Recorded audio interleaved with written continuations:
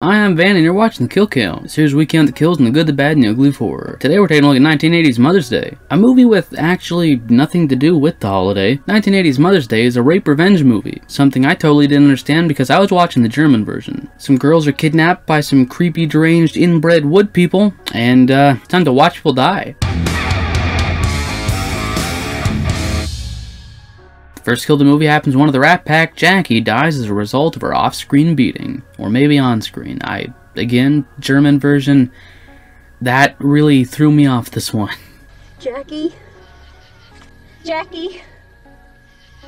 Jackie? No! Jackie! When the two remaining girls become sudden badasses, they head back to the freak show and stab one of the brothers. And no, I didn't cut the kill short. Again, German.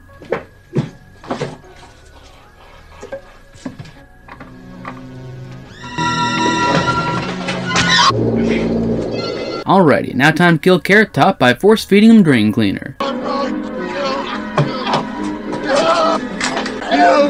you kill him! You kill him! And finally, the nerdy, quirky Velma type girl goes all adult parody Rambo and takes his target out with a pair of blow up tits. Yeah. Let me go! Don't worry. Oh! Oh! oh. You